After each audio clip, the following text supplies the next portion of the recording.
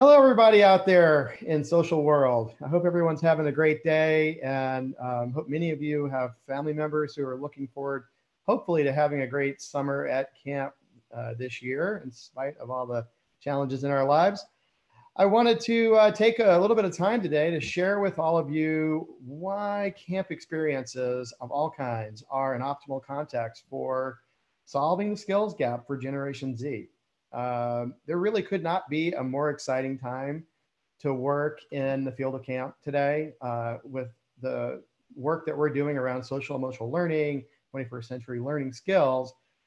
It is um, a really, really meaningful place to be. And um, it's tremendous to see the research coming back showing how, what an optimal context it is. So, but so I want to tell you today a little bit more about camp uh, for those of you who don't know much about it and how why today it's so relevant uh, for Gen Z and helping to close the skills gap there and help them prepare for uh, a new and very different economy that is approaching uh, them as they grow up and, and head out into the workforce. So first, some, some information about my organization, the American Camp Association. Um, the American Camp Association is um, is a is a is a 110 year old uh, national nonprofit charity uh, with, uh, gosh, we have well over 12,000 members and uh, 3,100 plus member camps serving over 10 million kids, uh, kids, teens, adults, uh, campers.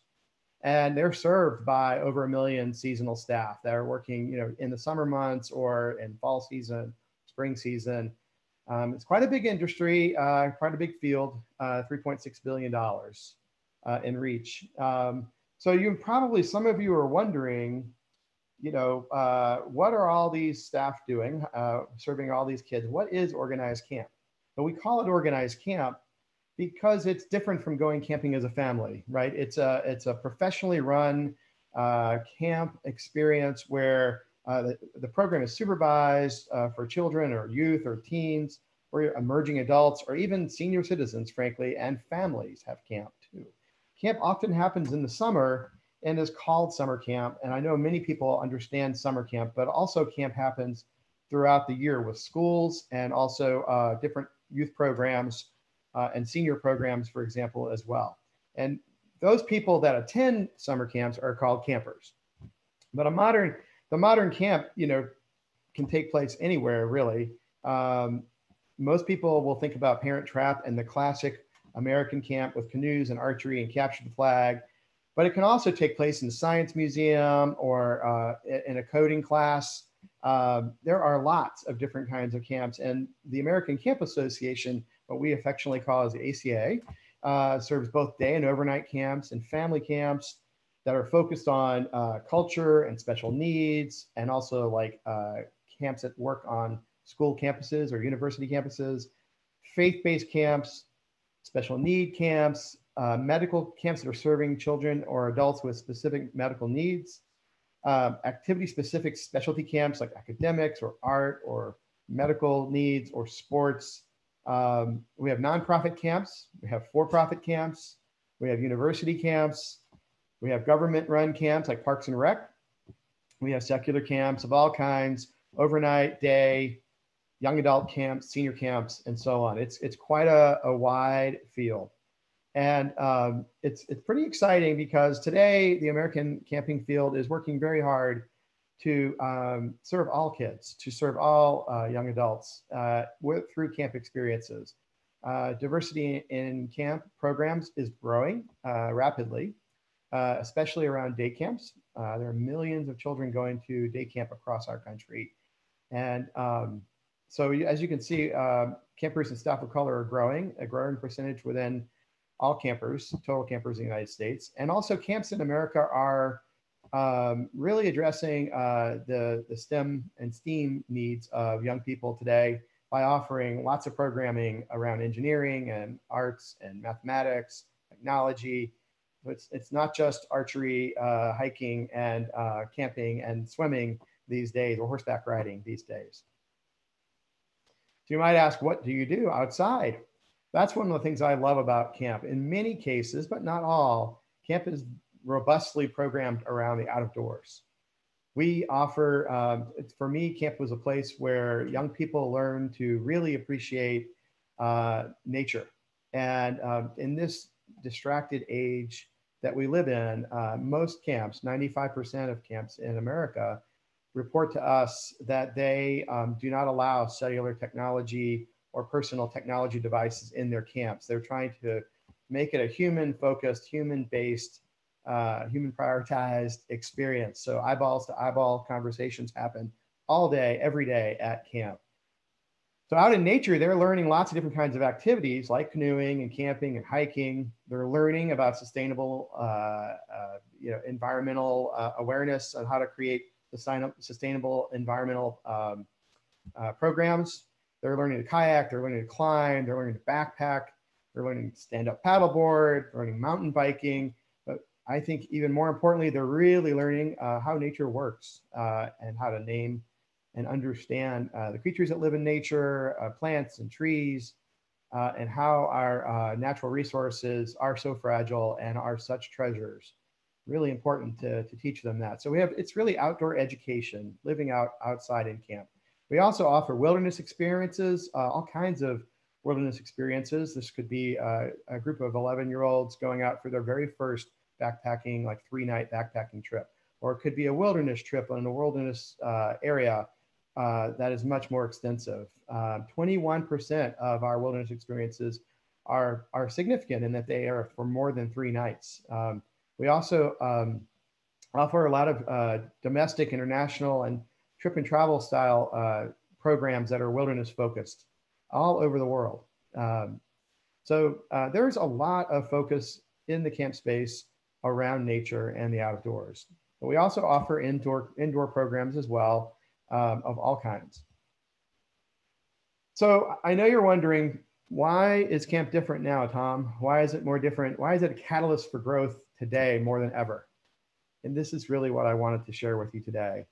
Um, with, with Generation Z, um, we have an opportunity to really help them develop their uh, essential human skills right? So out of school time uh, right now, schools all across the country are working hard to to implement um, uh, social and emotional learning standards, uh, you know, uh, that are suggested by CASEL, collaborative, uh, collaborative academic social and emotional learning.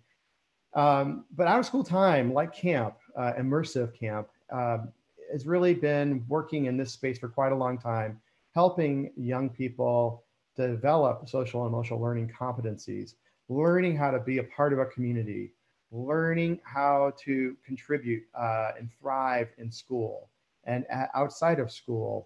And then that they're, what we're seeing in the research is that they research suggests that they are carrying uh, these competencies with them through to college, to work, and later into life.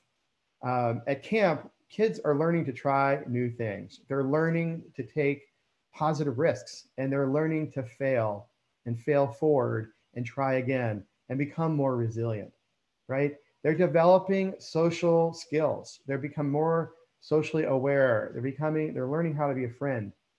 They're learning how to explore.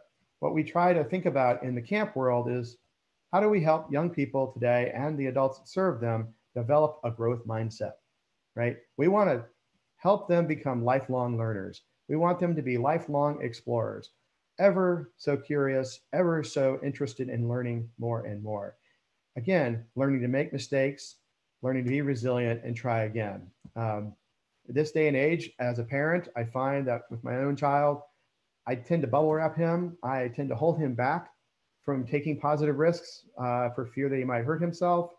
But camp is a safe, and I would say emotionally and physically safe place where young people are able to try new things, take positive risks, and make mistakes, and learn to work through those mistakes in a loving setting of friends and fellowship in a, in a, in a program that's been designed especially uh, to help them fail forward uh, and learn from those experiences. We teach teamwork, we teach positive identity.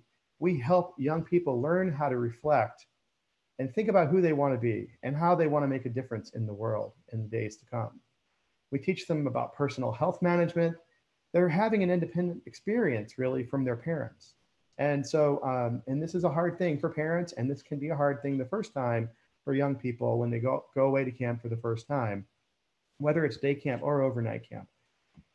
But camp is really about, um, you know, uh, taking those positive risks, um, learning how to belong to a group and look eyeball to eyeball and have deep conversations and incredibly reflective and wonderful time to think about how they think and who they want to be. So we think about that as a critical part of positive youth development today. It's a critical part of social and emotional learning competencies and education. And all of our different kinds of camps, whether they're a faith-based camp or a cultural camp or an activity-based camp or a day camp or national brand camps like the Y, the J, uh, these are really important. We also have uh, something about camp called Camps on Campus. I'll share a little bit with you about as well. And we are really involved as ACA. We're involved in something called accredited camps, which I'll mention later in the presentation as well. So camp is a really exciting time to help Gen Z um, be who they are and help them become who they want to be and do it outside very often, although not always, and in a really engaging way. So what we're really all about is helping not just campers, right, but also staff and family through different modalities of camp develop a sense of belonging in an undistracted environment with immersive experiences. So think about what that means. How, how many times today do young people have the opportunity to put their phone down for days, for days on end, where they are immersively engaged in a intentional community that is child-centered, where they're uh, feeling a great deal of attention and they're learning to give more than they receive. They're learning to lead. They're learning to follow. They're learning to listen more than they speak. And they're learning uh, to try new things. They also um, are surrounded by young adults who are role models, who are also learning uh, through camp. And they, through in, in this way, both the staff members who serve them and the campers have lots of opportunity for choice and voice. And as I mentioned before, camp is really intentionally built and designed and trained for to be a safe and supporting environment where kids do feel emotionally safe. And this is saying a lot today. Today, kids find many of their environments to be challenging physically or emotionally. And so we work really hard in the, in the field of camp to conquer that and to help young people feel engaged in an emotionally safe and physically safe way. And that leads to a thriving adult experience, right? That means we help them be a great citizen in a community, giving more than they're receiving, learning to lead, learning to follow. Uh, we teach them to be great environmental stewards. We help them uh, learn how to learn and prioritize their lifelong education. They're going to have many different careers in their life, many different tasks, many different jobs, and they will need to learn to suck the marrow of learning from each and every one of those experiences, carry it with them to the next experience. Uh, we are uh, helping them contribute to the workforce. We're helping them build community and we're helping them develop and you know sense their identity for their for their life ahead. Pretty exciting stuff. So why is this important? Uh, well, let me tell you, uh, Today, I think we all know 95%, the data shows that 95% of all young people have access to smartphones, regardless of gender, race, ethnicity, or socioeconomics, right? This is a very digital, uh, a very digital generation. We know this, one of my favorite studies from the Pew Research Center is one that they did on teens, technology, and friendship back in 2015. In that study, they found that just one out of four teens was spending uh, was, was, was spending uh, time with friends in person outside of school on a daily basis. Let me say that again. Just one out of four teens was spending time uh, with friends in person outside of school on a daily basis. Wow. So it begs the question, where is this generation learning to practice their in-person social skills? We also know that nearly half of teens say that text messaging is their first choice for communicating with their closest friends. They're really creating friends online more than they're creating friends offline. And the data from this Pew Research Center study is showing that online friends, only, only one out of five online friends in that study uh, were making its way to the in-person realm. So again, where are they developing and learning to test and enrich their in-person social skills?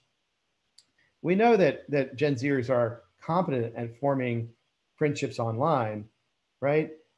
But how do we help them do this in person? They, these these in-person skills, we're, we're seeing article after article in the press today from the corporate world are saying we need to have uh, college graduates and other workers who have highly developed social and emotional learning skills. Additionally, uh, we're seeing so we're seeing all this screen time, right? So I have a 12 year old. He is on his screen as much as we will let him, and we measure that and we work hard at being intentional about it. But the more screen time this generation is having, the less time they're having just having in-person social interaction in a relaxed, free time kind of way. There, uh, I think we all can uh, agree that it, we're seeing in the media and in research uh, studies that are coming out from the CDC and other sources, increased loneliness, increased depression, and worse. But this, this is a generation that is at the forefront of a mental health crisis that the likes of which we have not seen in decades. Rates of teen depression and suicide have been skyrocketing since 2011. 70% of teens report anxiety and depression is a major problem among their peers, cutting across gender and socioeconomic lines. This is a Pew Research Center study from 2019. 59%, in, uh, there's been a 59% increase in the total number of teens who recently experienced depression over the past decade. Um, this is pretty significant. And uh, so, you know, one might say that, and I think it's been well written and documented that Gen Z teens feel more physically safe and are more physically safer than ever before, but yet are more mentally and emotionally vulnerable. Gen Z uh, teens are also much more risk averse. Um, this past summer, the CDC, um, uh, this past summer, the CDC's youth risk behavior survey noted significant increases in the number of high schoolers who experience persistent feelings of sadness and hopelessness. The, and also seriously considered attempting suicide or making a suicide plan. I think you probably know this from the media, but just to point it out, uh, in, when Theresa May was Prime Minister of England in 2018, she named two brand new cabinet ministers in 2018. In January, uh, she uh, 2018, she named a minister of loneliness Yes, a minister of loneliness and a minister of suicide prevention. I thought she was um, right on on the spot there with those moves, and I think um, the this is a global problem, not uh, just here in the United States. So um, this this is a generation that, you know, when we talk about them being more emotionally or mentally vulnerable, we know uh, from studies that um, they're, they're growing slower than uh, than uh, the generation before them or the generation before that generation. 18 year olds are emotionally behaving like 15 year olds. 15 year olds are emotionally behaving like 12 year olds used to. So, um, another example, uh, you probably know, everyone that's listening probably knows that uh, this is a generation that's less likely to go out without their parents than previous generations. This is a generation that's less likely to date at the same ages where you may have dated in your generation. They're less likely to work after school and as parents, we're, we're very often very supportive of that. But because they're not taking having those after school work opportunities, um, they're lost uh, positive risk opportunities to learn in an independent setting away from mom and dad. We tend to bubble wrap them, right? And we cocoon them. And in fact, I think we could all agree that in many ways in our own world as adults today, we are showing them and demonstrating that uh, cocooning is what we are doing. So um, how do we encourage kids to um, to to take more positive risks, to uh, try new things? When when kids do that, like let's just pause for a second and think about how did you learn? How did you learn to take positive risks? Well, uh, I think a lot of what happens when you're growing up, uh, at least in the past, what we we saw our we learned who we were uh, through reflections of the people we were around, and we uh, took positive risks and we learned uh, to mitigate those risks, and we learned to be successful trying and trying and trying again after several failures. um, we are robbing this generation from the opportunity to take those positive risks. So camp experiences can be exceptionally therapeutic and can be that place for young people who have had adverse childhood experiences or trauma to um, live in a super intentional child centered universe where they are focused on 100% of the time in a human way and they can learn um, to feel more confident in themselves, have more self esteem, um, be nurtured to a place where they're willing to take more positive risk and also enjoy the out of doors.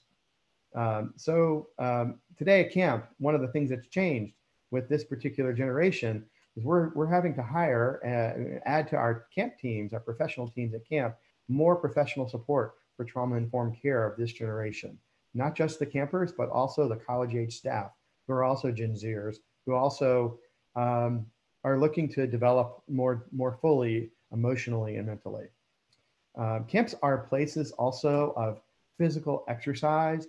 Kids are having lots of vigorous exercise every day at camp, doing fun activities outside and inside. They are also having uh, solid, three solid meals and snacks each day, which are uh, appropriately developed through dietitians. And so they're learning healthy eating practices and they're getting lots of uh, physical exercise. It's really wonderful.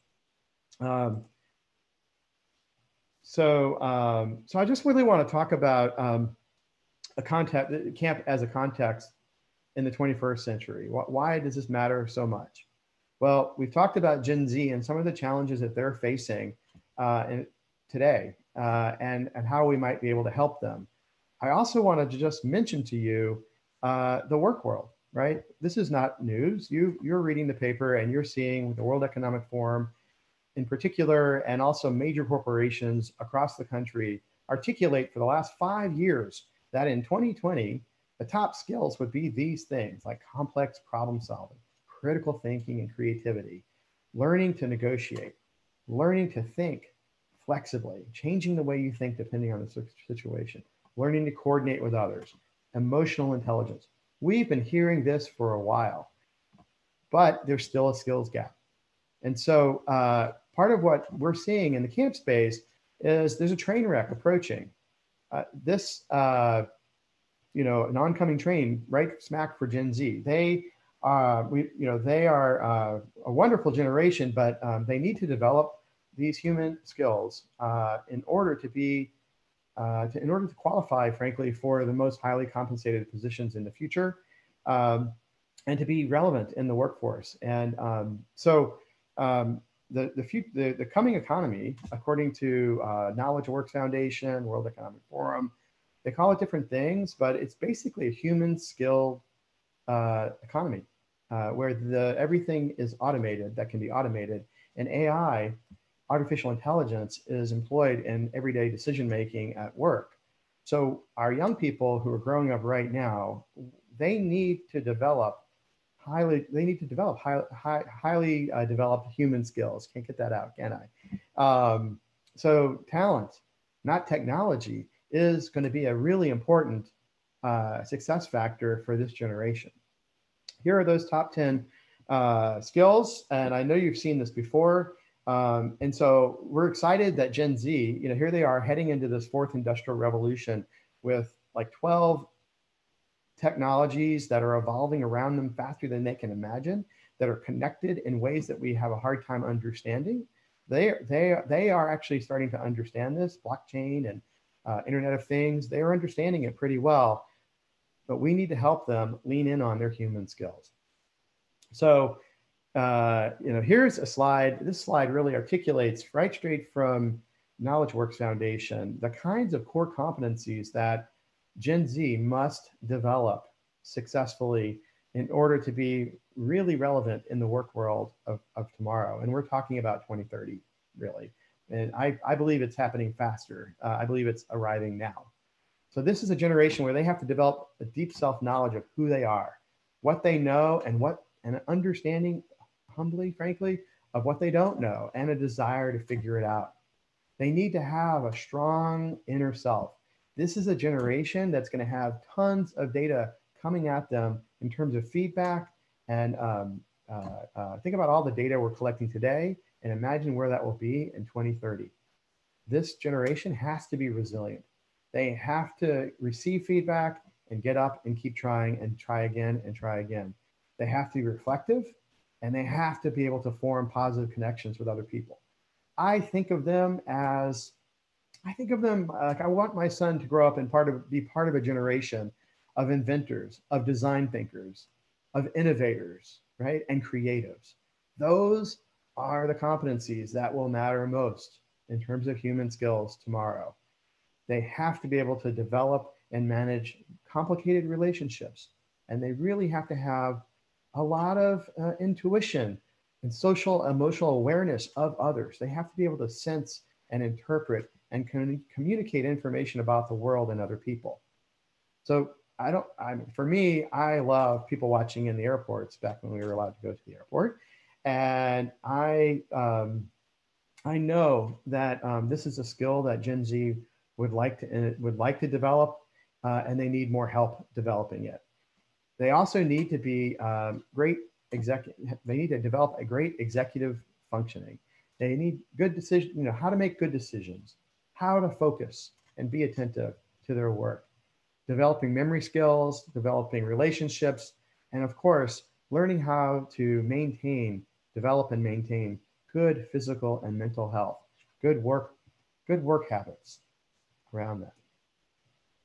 They, uh, they really need to be able to understand and recognize their own emotions, understand triggers as they are about to happen, and then take a deep breath and shift to a balanced, productive emotional state, right? That's what they need to be able to, be, to do. Emotional regulation is one of the biggest challenges that we're seeing in Gen Z today. And being able to understand where they're at and move from. So, learning to become more mindful is a big part of what they learn at camp, right? Learning to be spontaneous, and um, and be in the moment. That's another piece of camp. We want them to really be socially aware and empathetic, learning to build relationships of all kinds to support learning. Saying that again, learning to build social relationships of all kinds to support learning, to support collaboration and innovation, right? Humbly, we want to teach them to admit to mistakes and ask for help. Really important.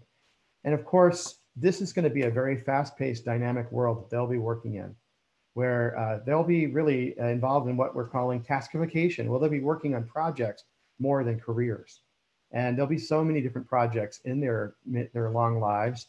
They need to be adaptable. They need to learn to be more resourceful, and they need to be able to balance their confidence with humility uh, in an even way.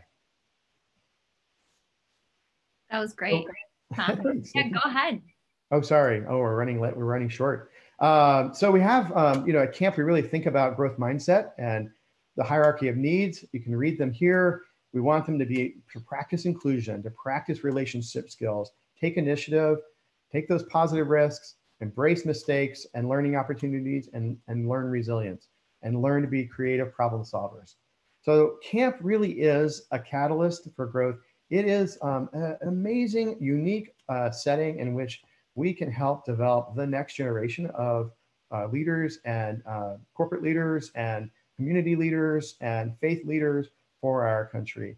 Uh, these are capacities and strategies that they can apply to the rest of their life. And we're seeing that they're carrying these 21st century skills and competencies forward, competencies forward. Uh, already we're seeing that happening in a, in a robust way. These are transferable skills. So I just wanted to remind you one more time of how we do that in camp and how that leads to how camp is a catalyst for growth and how that leads to a thriving adult life as a, a great citizen with a fully formed and inspired identity.